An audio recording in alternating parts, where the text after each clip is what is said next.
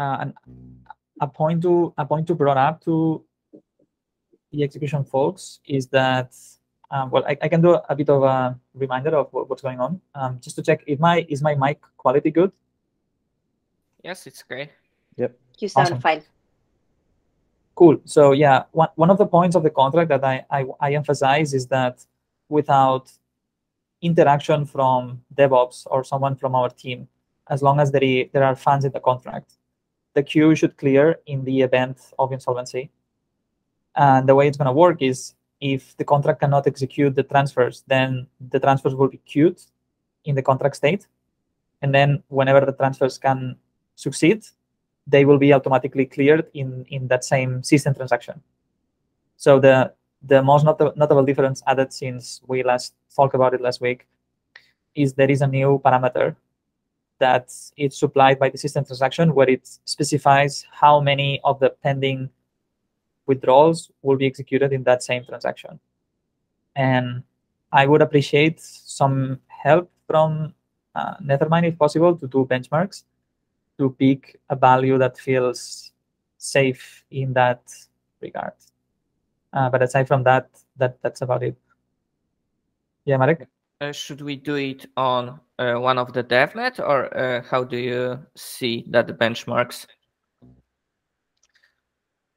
So I think the limiting factor would be just to see what, what is the added load in processing the block if it has that that many that many failed transactions to process, and then just pick a value that that we are comfortable with. Okay, got it. So I don't I don't think I don't think it should matter the size of the network because at the end it's just EVM execution. So just tell me if I'm wrong, but the but, cost should uh, be the uh, same. If you are accessing the state, it might have you know on the DevNet you, we can cache entire state to the memory, right? So not oh, sure. I see. So it might uh, have a big difference in mainnet. Yeah, that's a good point. Why not default to 16? So we there are there are two parameters. The first one is the the, trans, the withdrawals that would come from the block, which you have to either process and forget about it, or pro, or process, attempt, fail, and store.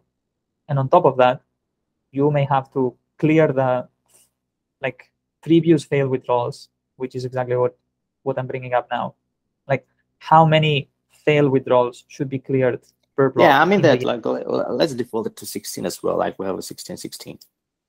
Oh, I see. Of course, we will do a benchmark, yeah, but we can some, uh, have some initial default value. So it will be like double of the initial one. We have a 16 in the block, and we may have a, like up to 16 failed withdrawal, so it will be 32 with the worst case. Right.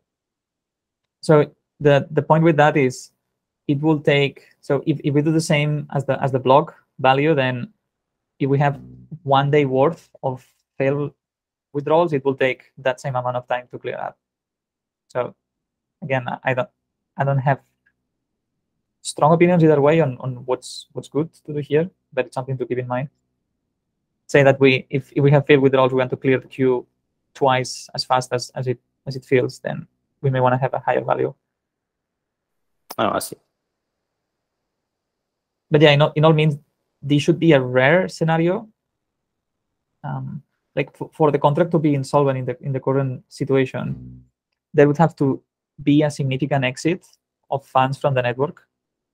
Um, otherwise, Ponzinomics will apply and existing capital can pay for rewards. Uh? Is there an estimate of gas um, gas used on on those numbers? So how much not, ga more gas used would be used if we have this um, queue filling up and let's say 16 and let's say 64, right? That we clean up it four times faster. How how much gas that transaction would use? Yeah, I don't have the numbers, but we we we should compute those numbers. Yeah, sure. Yeah, and generally, it's a good question about all withdrawals how much gas will be used uh, by this withdrawals transaction. Of course, if they will be normal transaction, if we map them to the normal transaction, uh, how much gas uh, we will need to execute this contract. Uh, and then then we can decide based on gas, right? Because we have 15 million target, right? So how much gas do we, we want to potentially withdraw withdraw stake? So, we need to be aware that uh, after withdrawals, we are always adding uh, something to the block, some amount of gas used to this block. Yeah, I would check with Ihor to have some benchmarks. Um, yeah, just co compute the gas of some test transactions.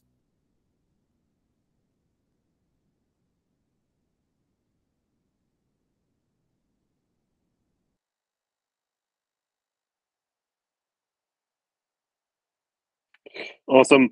Um, yeah, I guess that's it for the withdrawal contracts. Um, so what what about DevNets? I think last week we talked about um, starting some, maybe with a mock contract for withdrawals, but now that we have the right one, uh, can we spin up a new ones? I mean, a DevNet with the actual contract, or are there any blockers or something?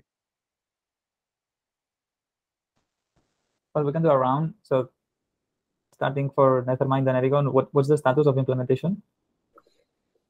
Yeah, so we, yeah, Ruben can comment on this later, but we started a DevNet, internal uh, DevNet, uh, using a mock contract uh, just to test our implementation. So the DevNet is up. Uh, so it was it was brought up like a few days ago, so we're still testing it and seeing that everything works correctly. Yes, Alcatel so far everything goes positively well in the middle of processing, uh, progressing with tests. So uh, so far it's good.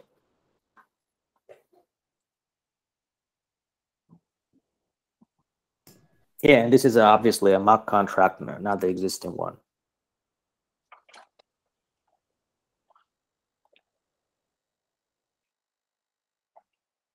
Awesome. Uh, what about Erigon? Uh, it uh, it's not implemented yet, but um, uh, I can do it uh, this week. The implementation.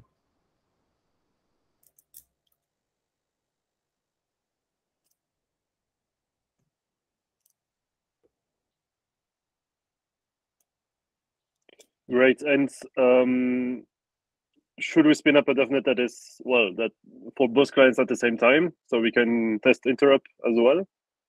Or is it too soon? Well, I, I think we can do it on Monday, maybe. Yeah, should be should be feasible, I guess.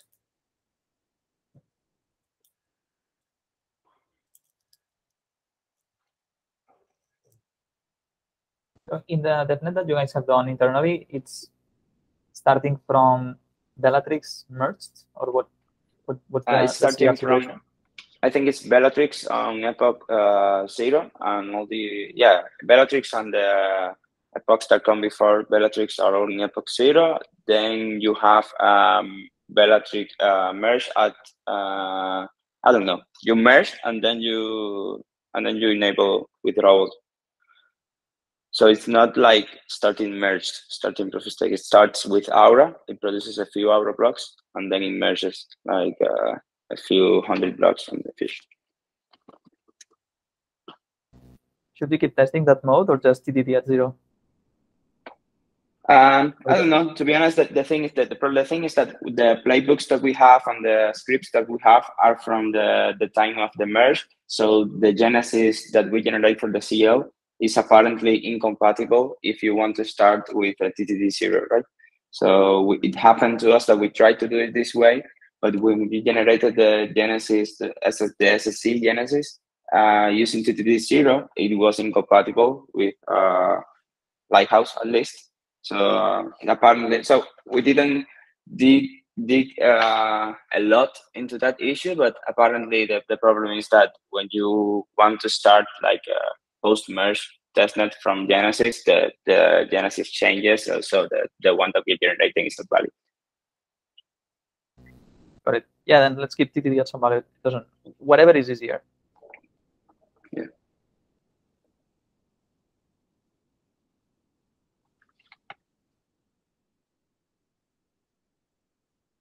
Great. Um, well, let's move to client updates then. On the execution layer, uh, Nethermind.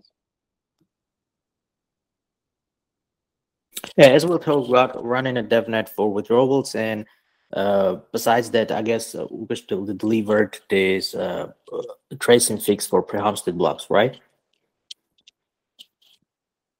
Uh, that's not relevant for Gnosis. Uh, okay. Probably besides that, no updates. Okay, uh, Erigon? Uh, we've managed to get Chiado working. So there was uh, some uh, some issue with um, Nethermind um, disconnecting useless peers, but uh, we we created um, snapshots of uh, shadow blocks. So I think that, that that issue was happening only at block zero, but now because we have um, snapshots, that shouldn't be an issue. And I also, I believe Nethermind um, are working on a fix as well.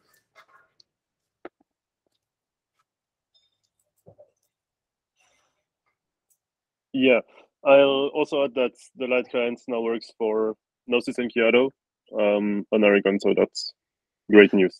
Yeah, but I think the problem is that um, it, it it's only supported by Nimbus. So there was this we kind of think it's not that, that there are not enough light client peers uh, so that it's stable. We enabled it by default in our latest release, but I think that was a mistake. So we actually we now it, it, it is uh, possible, but we think it's it should be only experimental, not not enabled by default because of the low low um, low number of, of light client peers.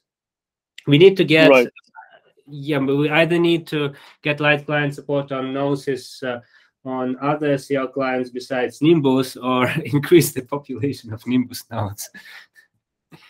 yeah, um, yeah, maybe making that by default was a bit uh, too soon.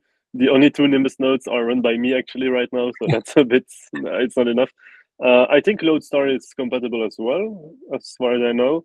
But um, I'm working with DevOps to get new nodes out there um, to support Erigon, and also uh, Erigon nodes for snapshot things, well for torrent things. So hopefully that yeah. should, that should work soon. Cool. DevOps should should run a bunch of Nimbus nodes uh, permanently for that purpose. Yeah, yeah I, I'm working with them. It's a bit complicated right now, but we're getting there. Awesome. Um, okay, uh, Geth, I'm not sure if Guillaume is there.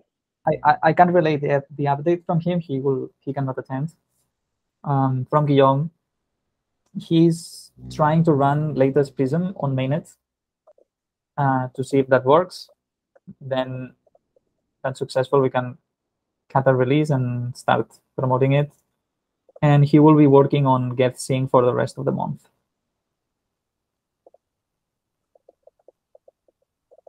Um, actually, sorry, I, I, now realize that um, I, I, remember something because um, in Basel uh, there is this uh, carnival Fasnacht uh, happening uh, for three days, Monday to Wednesday, and it, it's impossible to work because it's it's non-stop music and uh, and uh, entertainment, and it's it's a yeah, it's a big event here. So I am afraid I won't be able to to, to do any work until Thursday.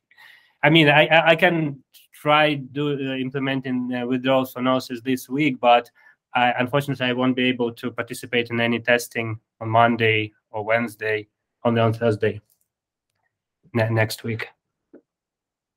So maybe we can do this test network on on Thursday. The what what what's the the second of March.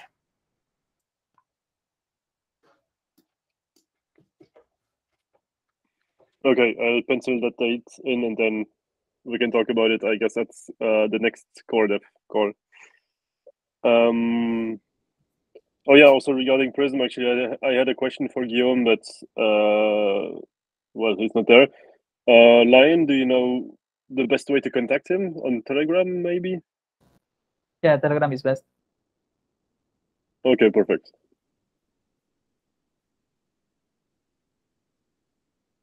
All right. Well, on the consensus layer side, I guess there's not much new. Um, well, I'm publishing. I, we're publishing Nimbus images on the Gnosis chain repo now. which are updated um, well as soon as upstream cuts a release. So that's uh, yeah what we're going to use for our nodes, our Nimbus nodes.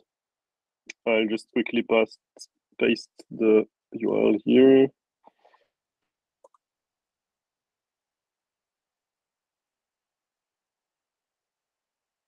Okay, so uh, for the China Infra gateway, do you have any news? Uh, yeah, so uh, we already have like half of the traffic from public RPC on Chiado uh, redirected from uh, public Gnosis RPC to our RPC. And for mainnet, uh, we also have some redirect, but uh, a bit less for now. It's 25%. Um, sounds good. And we plan also to increase the mainnet traffic so the redirect of this mainnet traffic to 50% and more. And uh, our team also started to work on bridge validator, but uh, like right now is more reading the scripts and documentation and playing with this. If we will be lucky, we can do some, like we can start asking questions and uh, asking for help, if any, before ETHDenver but it's also possible that during ETHDenver, um, there will be some pause on, on this because a lot of team members going there.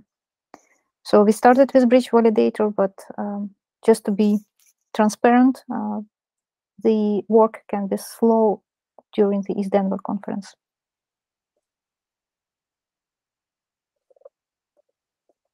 That's it. Okay, thank you. Um, regarding Beacon Chain, um, I yeah, maybe Dan, you want to comment? Uh, yeah, so I think just for this, I think we clarified in the group as well. They said they will only be ready to launch the sorry the Beacon Chain Explorer, which is critical for the withdrawals. Um, having a UI available for people to switch from 0x0 addresses to 0x01 addresses. Um, they will only have the UI one month after the Ethereum Shanghai Capella merge, um, which then leads, I think, to the next question, which is when is a realistic time for withdrawals? Um, because I think there have been quite a lot of inquiries from the community, um, and I think we sh shouldn't overpromise uh, and you know just give something that is realistic. Very likely, the withdrawals timeline will be based on when we are technically able to deliver a good enough experience for you know everybody involved and have the supporting infrastructure in place.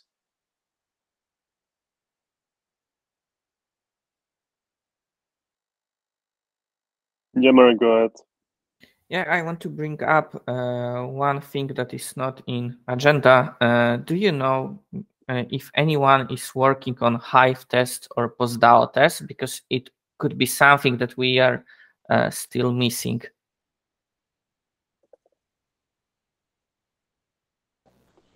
No, as, as far as I'm concerned, I don't think so. Um, I think that this would be something great to source someone to take ownership, but I'm I'm not sure if we have that capability. Um, do you have any more data, Philip? No, uh, I was going to say, I'm I don't think there's any work on this. But yeah, I know we've talked about it in the past few weeks. Uh, who would be able to do something like that? Is anyone from Nethermind that would have capacity to do either of the two?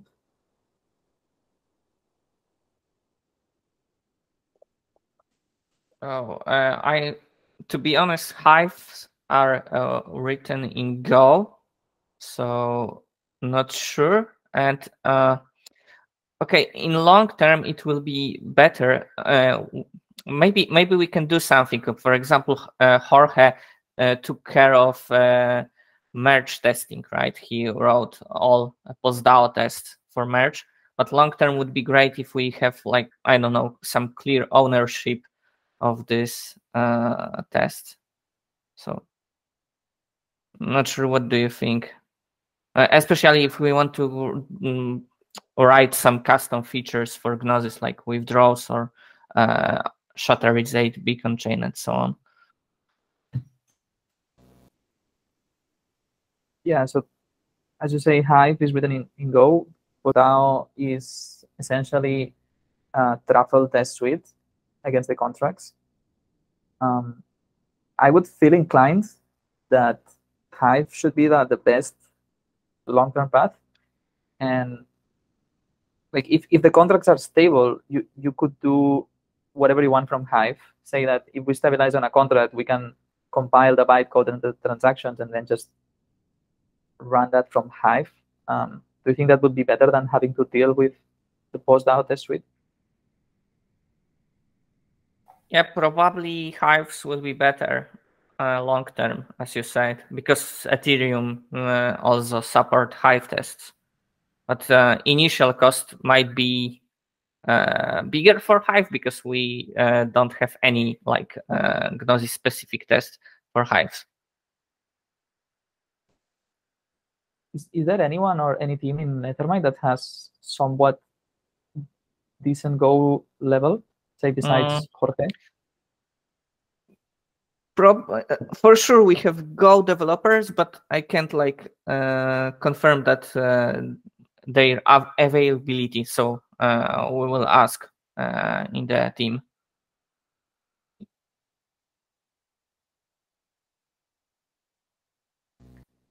Yeah, because I think so. The testing is critically under owned, so um, would would be great to have someone. Um, I guess if if it's a resource problem and you have the people, I'm sure like Gnosis could support that. Um, so yeah, something to consider.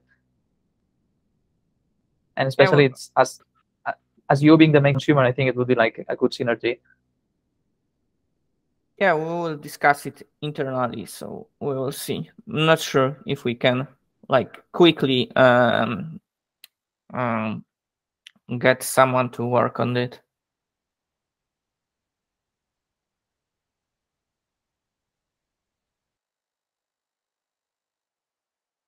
And I guess so for our case, we we wouldn't need uh, a suite as extensive as Ethereum. If we can cover the base cases, that that would be um, good good enough.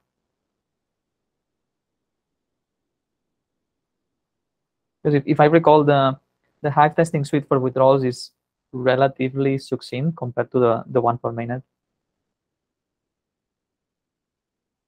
Ma- mainnet say everything else bad withdrawals. Mm, yeah, the only changes will be required in chain spec and uh, this contract related things. So, for example, you can just read get balance. For example, uh, Hive tests uh, are sending get balance request to verify if we apply correctly withdrawals, and it won't be the case for uh, Gnosis withdrawals. Right. Yeah, we'll have to write a bit more of custom transaction code. Yes, yes. Yeah, initial initial um, work will be much bigger, but long-term Hive tests uh, will be probably better than support POSDAO tests. And I guess given that the APIs of the contract are spec and should not move, then like th- this test should be fine long term.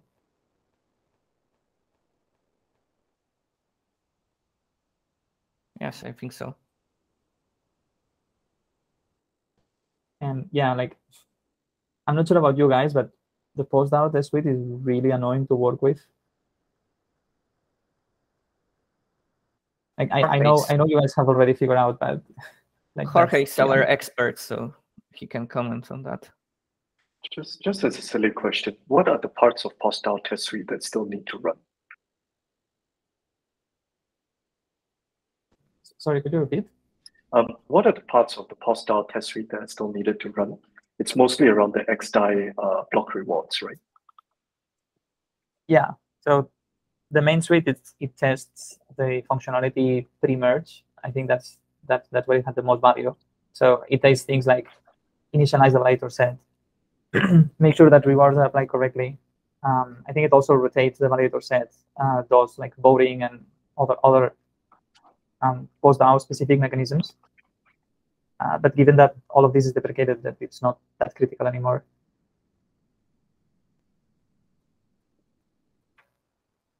Uh, Yeah, that's how that's mainly mainly that, and then you test uh, that you're able to go through the merge uh, correctly and without uh, having forks or nodes getting stuck. And then you, yeah, and then it's mainly block rewards. And so block rewards and transaction priority, which is a feature that it's not being like much used uh, right now in Gnosis, but it's still there, like transaction priority contract.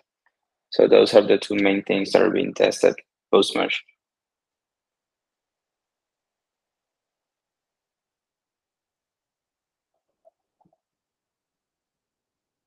I see. So as long as they're still syncing in from Genesis, we will need to maintain this test suite. Sorry? As, as, as long as people are syncing from Genesis, they, we still need to maintain the full test suite for this. Yes, yes, yes. So, so this is they have been very helpful in the past. Like uh, sometimes uh, we, we catch uh, places that we would have broken. Uh, for example, uh, pre-merge stuff like Aura stuff that would have prevented people from from syncing correctly. And yeah, yeah, they have been helpful. So yeah, in that regard, the tests are still relevant.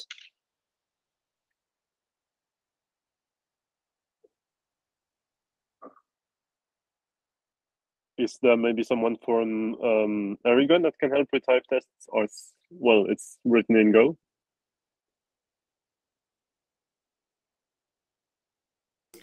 Uh, well, I can ask, but I don't think we have um, free developers at the moment.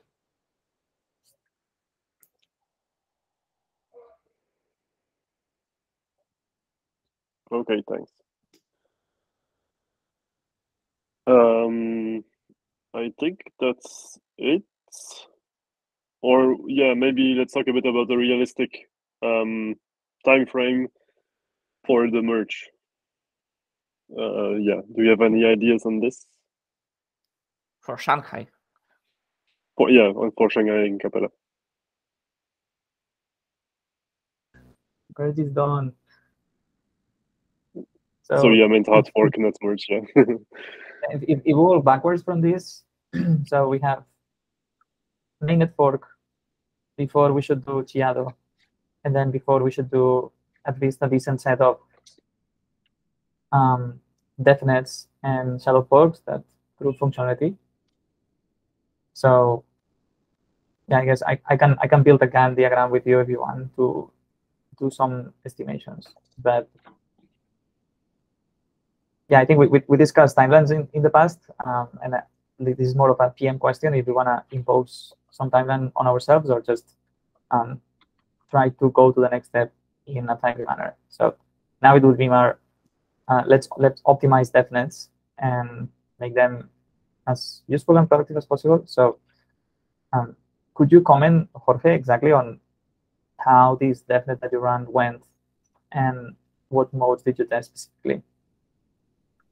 Yeah, so I can comment on the setup of the, of the DevNet uh, and the actual testing. Ruben is uh, actually working on that currently. So DevNet is uh, pretty simple, fairly simple to, to spin up. Uh, so it's something that's uh, very much automated for us right now. Uh, we have like uh, I don't know how many. I think very uh, a few dozens of validators on the Genesis file, like it, from Genesis, no deposit, nor anything.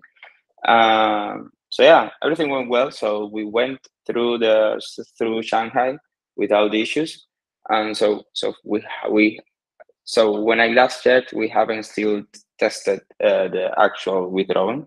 So I don't know if Ruben has made any progress on this. Yeah, I'm learning how to activate these uh, BLS addresses to be able to do withdrawals now. So this this uh, this uh, the IPs for these nodes that are running are public. Uh, so we could, uh, for instance, for example, share uh, some kind of RPC or even I, I think even this the, the SSH keys in the machines are the same that we use for the merge. So you, Lion, and, and, and, Igor, and all of you should have access to these machines also if you want to to help out with testing here. So that's that's something.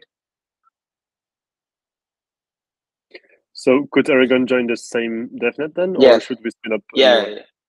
No, no, no. Erigon could join this testnet. So the, the only uh, characteristic uh, to be aware of about this testnet is that we are using a mock contract. So basically, something that uh, when you withdraw, what you do is just change something in the contract storage so that we can verify that the status is correct. So we can do some calls to verify that we made the proper change. But that's it.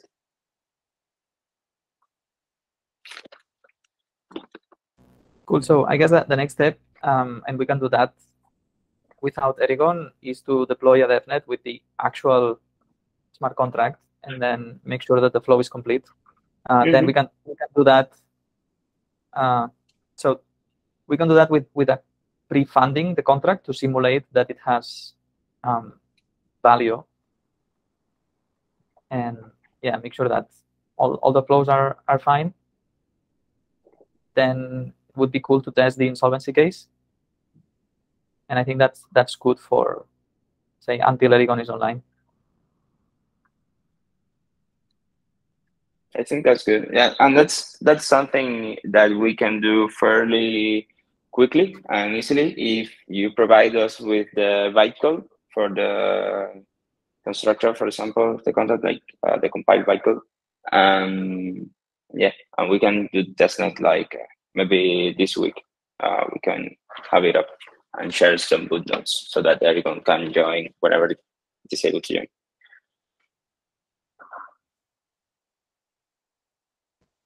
Yeah, sounds good.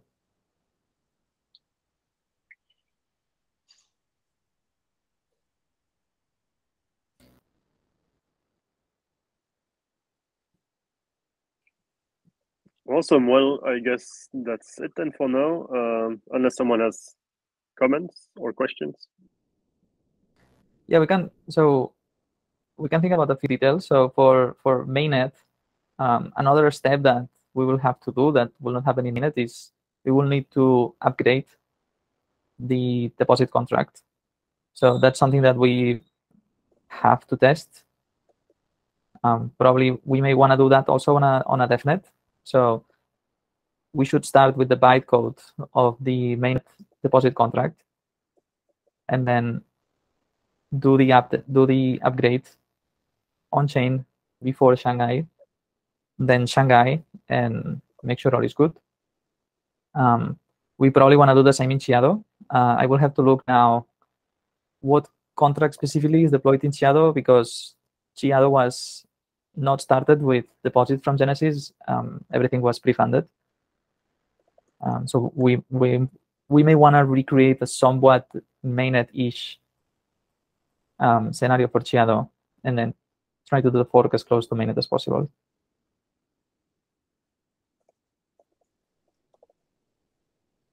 And the, the other point, um, I, I don't see these noted here, but I guess when we are closer to Chiado, we should start to test the tooling.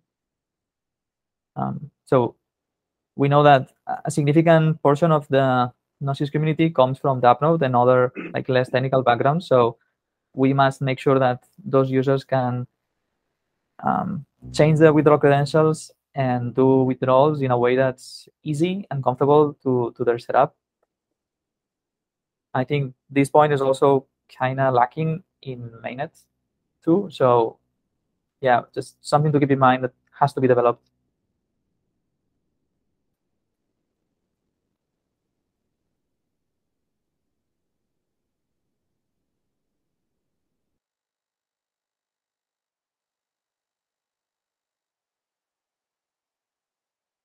Okay. Well, then there's a bunch of things to do then. So for the new DevNet um, with actual contracts, so should we then start with the bytecode of the con- contract in this case, and then uh, upgrade it afterwards? I would do the, the upgradability. We can do it later. Like it, it, in all practice, this is just to be extra, extra, extra safe, but it should not have any impact. Like in our case, we can just start from the final bytecode and it should be fine. Okay.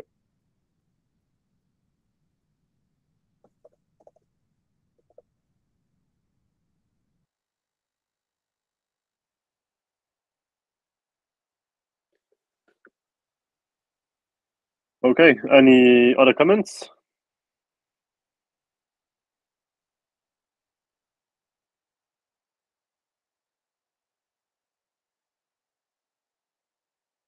Well, I guess we're done then. Thanks for joining and see you next week.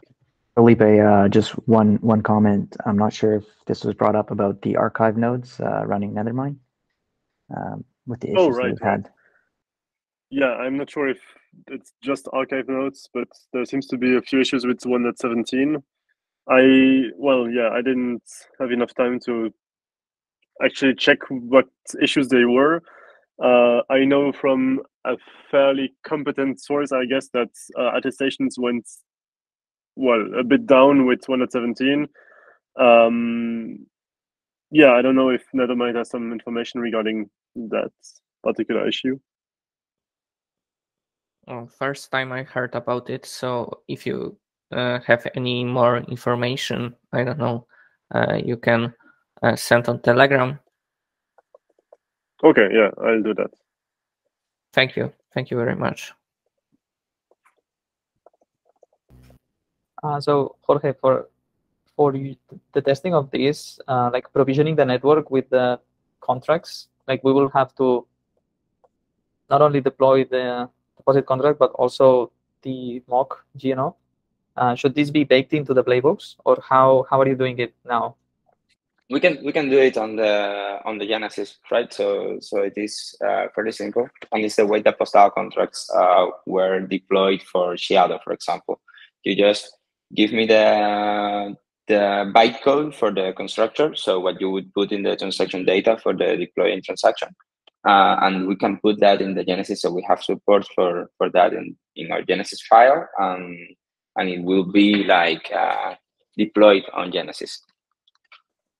So I think that's the simplest way, so that we don't need to to actually go through the deployment after the testnet is live. But we can do it that way also if you prefer. No, I think that's putting on the Genesis sounds easier. So in in Genesis, you can put bytecode, also storage. Uh, what like what, what capabilities do you have now? Uh, I don't remember. I'm not sure about storage. I think I think we have support for storage. Definitely, we have support for bytecode, as in the the deployed bytecode. We have support for the constructor, as, in the bytecode you run, and and then the, the return result is what you leave as a code for the for the account uh, value. But I'm not sure about storage. I'll need to check the code base, or maybe some of the guys here, Lucas or maybe Marek knows, but don't remember exactly right now. So to generate the CL Genesis, you're using the same tool as always. Yes, yes, yes. Because it, it would be cool if we can even in Genesis have some validators already with uh, like the zero zero x one credentials. Okay, so so we we're not like uh, very proficient with the CL tooling. We just Yeah, I can know I can look enough. into it. Okay, okay. And I, I think Yeah. I think that one was done by Proto. So maybe I can ping him to add it. Yeah, that'll be good. Yeah, I think we're using that one. because then then the test will be kind of automatic. So the, the other point, so to like the minimum thing to trigger withdrawals is we will need some validators to have the zero x one. So if we can have it that in the Genesis, then we don't have to. Well, we should submit messages, but some of them will be triggered automatically. Um, then we need to deploy the deposit contract, also the ERC20 contract, and give some tokens to the deposit contract. So th- this is why I was bringing up uh, the storage part. Like, what what would be the, the simplest way to assign tokens to the deposit contract? Okay, so if we are uh, feeling hacky, like what I did for the merge was that I just basically created a branch and hard coded like part in the code base, just uh, hard coded the storage slot and modified it in the in the process processing. Like before, like after processing Genesis, I was changing the, the storage slot. So that that's that's a hacky way to go around it. But I think we, sh- we should have uh, support for storage. I will check it and, and let you know. Well, we can also have a so we, we can have an ERC20 that assigns tokens to an address and be that part of the constructor bytecode. Uh, yes, uh, that's that's something also.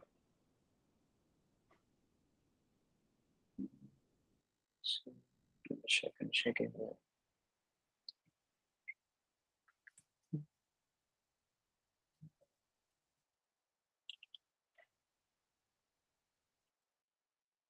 So what happens if you so because you can assign code um, whatever you want on on on the on the Genesis, you could have the private key for an account that has a contract. So say if, if I had the private key for the deposit contract and then I send a transaction, what happens? Yeah, I have no idea. so, so that those are edge cases that I, I presume nobody has tested because uh, I presume there is no network that has that has done that.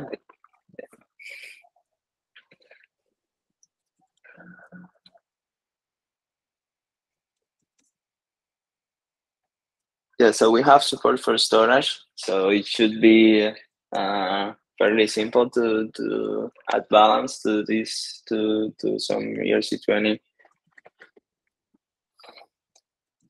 Like, can can you compute the, the storage slots given given the variable ordering of the contract? I'm not sure.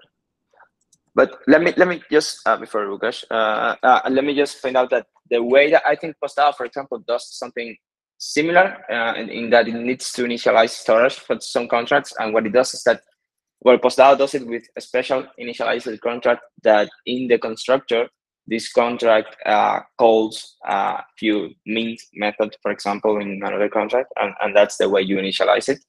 Uh, so, for example, what you could do is the, the constructor for your ERC20 could uh, have a few parameters of the addresses that you would like to fund, and we can just add those parameters to, to, to the to the constructor bytecode uh, in the Genesis file, uh, and that would be it, right? So that would be for for initialization no need to start to be computing storage slots on it.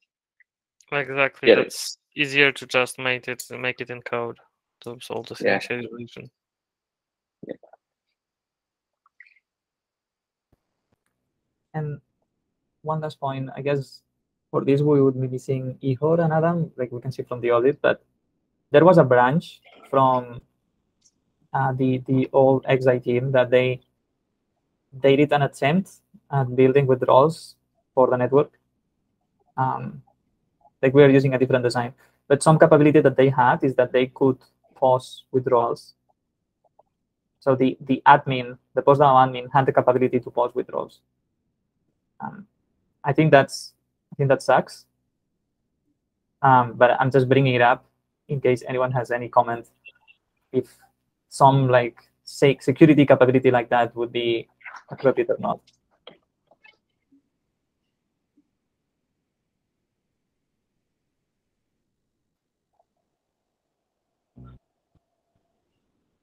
like my, opinion is um, withdrawals should always work. Um, and hopefully, whenever we figure out the GNO situation in in Gnosis, such that not even the insolvency case is possible, and then anyone that stakes in, in Gnosis has the guarantee that it can exit. So yeah, I think being able to pause withdrawals sounds really bad. But I, I just wanted to bring it up.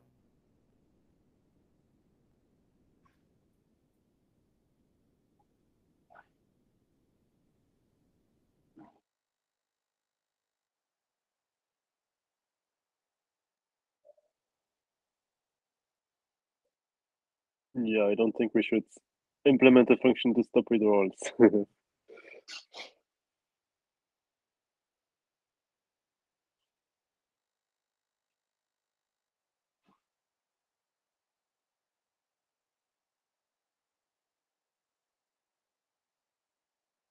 Oh, and I, I think I brought this up already, but just, just to make sure that relevant people is aware, with the withdrawals would look like XDAI um, native to ERC20 transactions where they just don't exist on on the Explorer. There will be no trace, there will be no logs.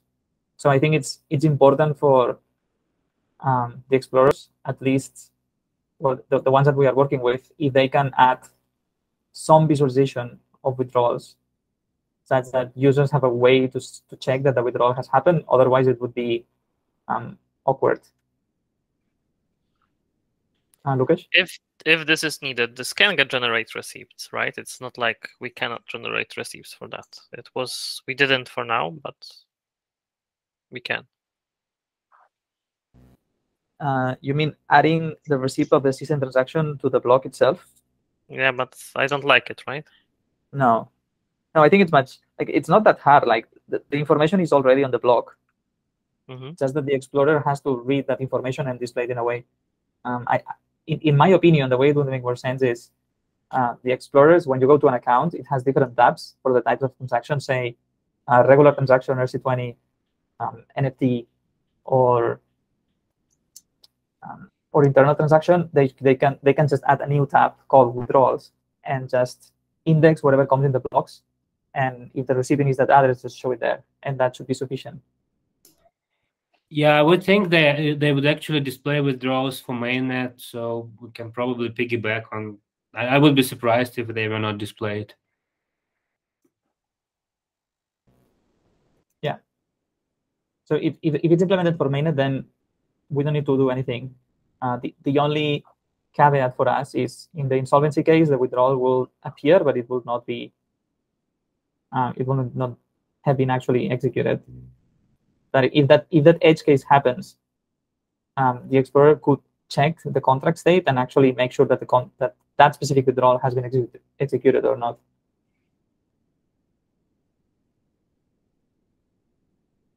I think it would have to check, right, on every case. The state uh, of this contract after the block. And remind me what happens if um, there is a failure in the withdrawal contract. Do do we actually accept such blocks if there is any failure? I don't remember the spec. If the transaction reverses, the block is invalid. So all valid blocks, like in, in all valid blocks, all withdrawals should should be executed fine. Well, let, let's define executed. So um, when the system transaction calls the contract, the transaction will, will not revert. But if the actual delegate call to the token contract fails, then the withdrawal will be added as pending failed in the contract state to be executed later. So, right. Yeah, Lucas? If we are talking block explorers, my question mark, should those withdrawals be visible in traces in any way?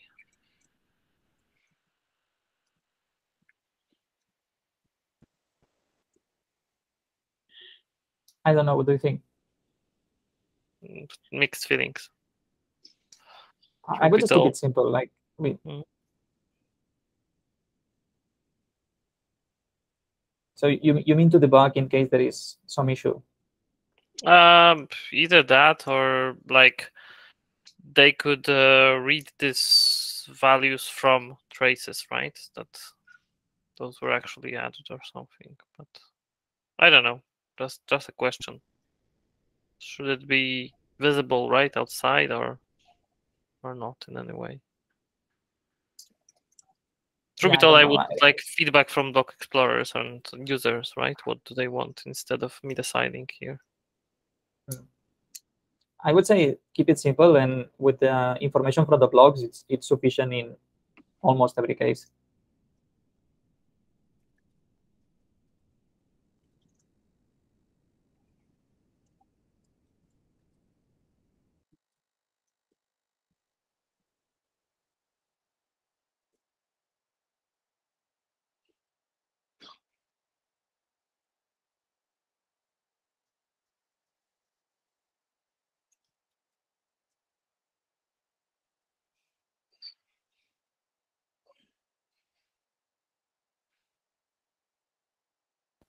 I think if there are no more comments, I think we can call it.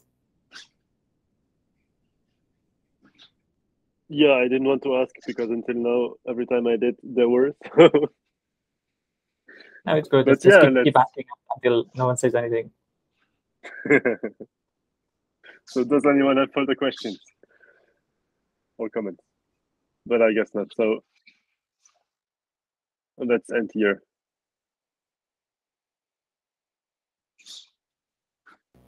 All right. Thanks, well, everyone. thanks everyone for joining and see you next week. Thank you, everyone. Thank you. Bye bye. Thank you, everyone. Bye. Bye, guys. everyone. Thanks, guys. Bye. Yep. Bye, everyone.